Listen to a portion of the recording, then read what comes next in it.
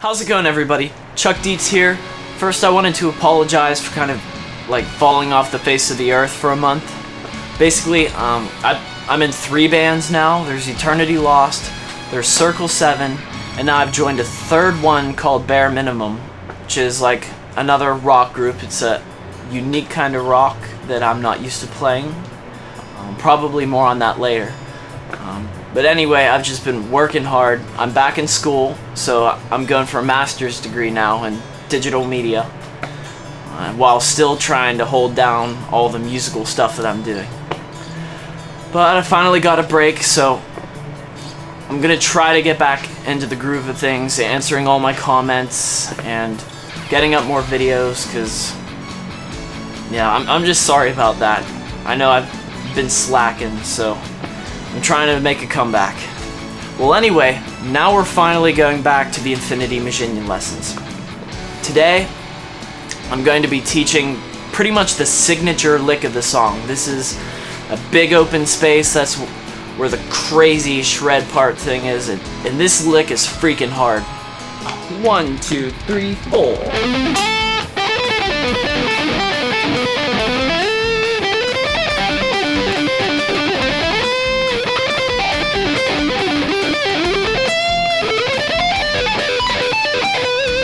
Most likely it's going to be easy to pick up uh, these runs here. Those little in-betweens. What I want to focus on now is the really crazy arpeggio things.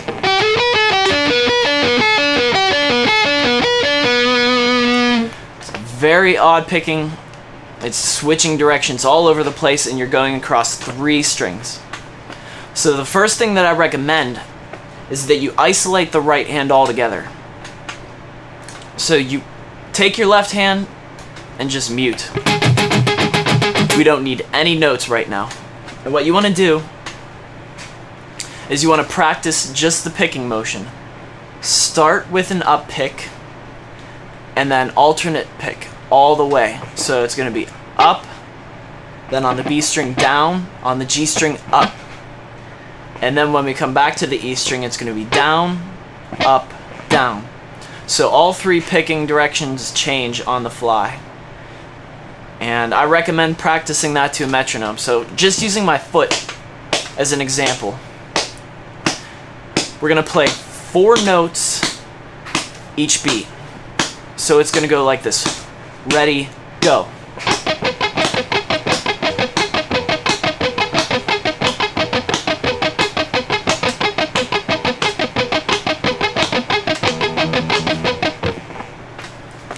And what that's going to do is that's going to build your right hand muscle memory so that you can tackle this lick. As you continue on, increase your speed.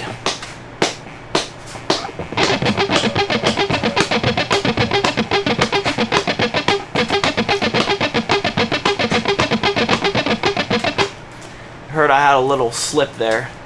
That's why you gotta practice.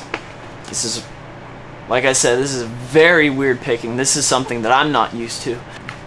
If you get bored of the single note thing, another alternative thing that you could do is practice your triads. If you remember from a couple of my sweep lessons, I went over triads, those three note chords. For example, like a C major.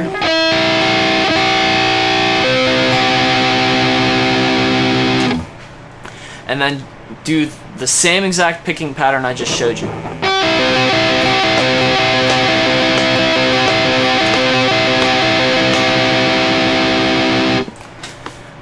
And then you can use any sequence of triads that you want. Like I said, this is just to keep the exercise more interesting. I realize that doing this for an hour is probably going to numb your brain to death. So I might try 145 patterns like this.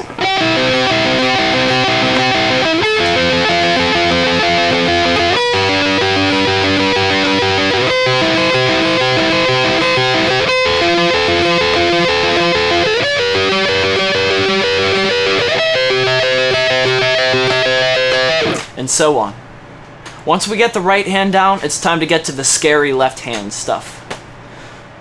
So for this, what I would do since there's basic there's three different positions that you're going to be playing arpeggios.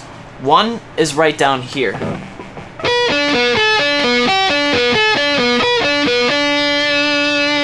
Another one is right here.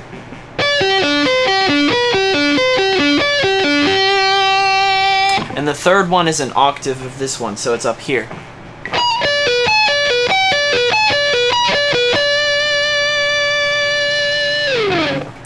Those are all G majors, by the way. If you remember from a couple lessons back, this riff is A minor, G major, F major, G major, back to A minor.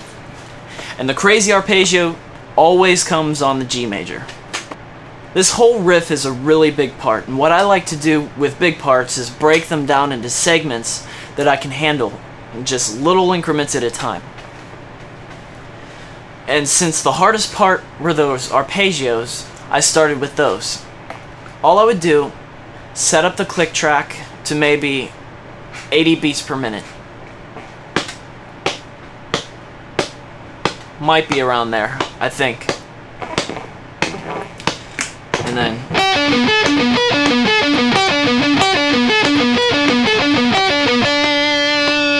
Just practice exercises like that. Because that's where that comes in.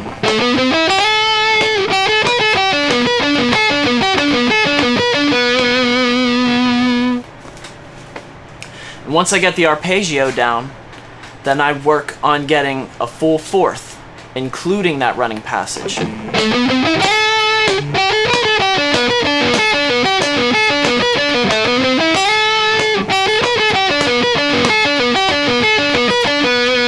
And then I'll speed it up.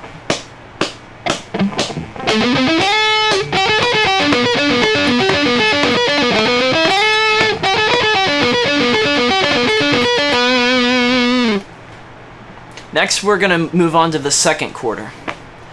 Now, I haven't been talking about my hands too much, but if you can, please watch as closely as you can, because I'm using special fingerings for these riffs, and I'm not, I'm not saying them explicitly, but it's very important that you pay attention to where my fingers are going. I'll explain it for the second quarter, that I'm playing these three notes, and then for this one, I'm taking my pinky and hammering it down on the fifth.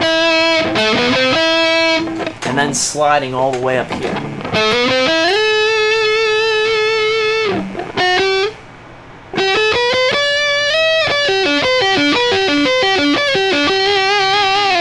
And I'm going to take a little bit of time to explain the fingering for this second arpeggio because this is really tricky.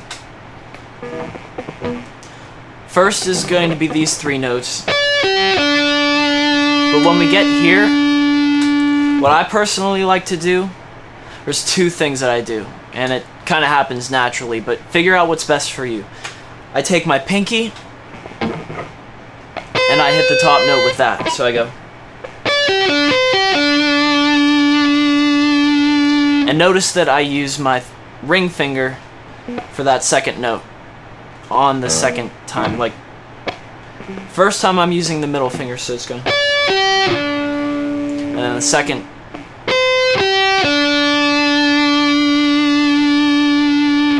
Third note, I just use the middle finger. Go back like that.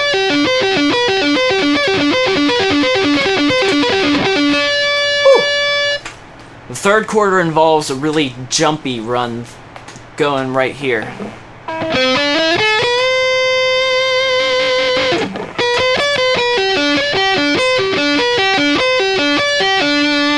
Same arpeggio mm. as the last.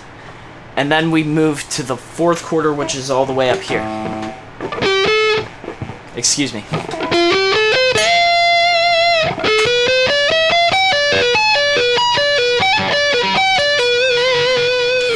I messed up again. So, do as I say, not as I do, even though that's probably a horrible thing for me to say. So I just want to thank you guys again for tuning in, watching my lessons. I'm glad that some of you like them and that it's helping you learn my cover.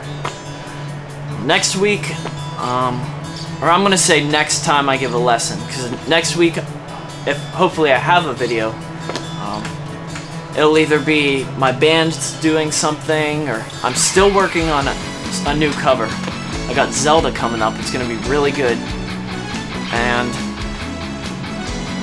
hopefully I get some sort of video next week. But next lesson, we're gonna continue on with this.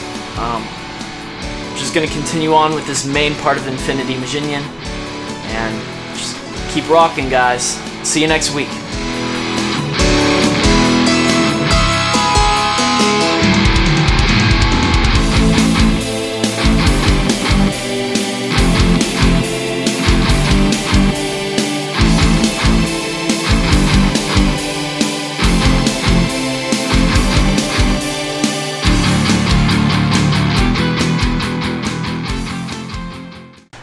So here's another trick that works for me but is completely irrelevant to anything. So if I'm trying to record a guitar part or a video or something, if I just take some time in between each take and I flip my pick and catch it, I'm like, yeah! And then I can start shredding again. And I'm like, man, that kind of sucked, but I got muscles. So then I do it again, catch it, and then I can start shredding again.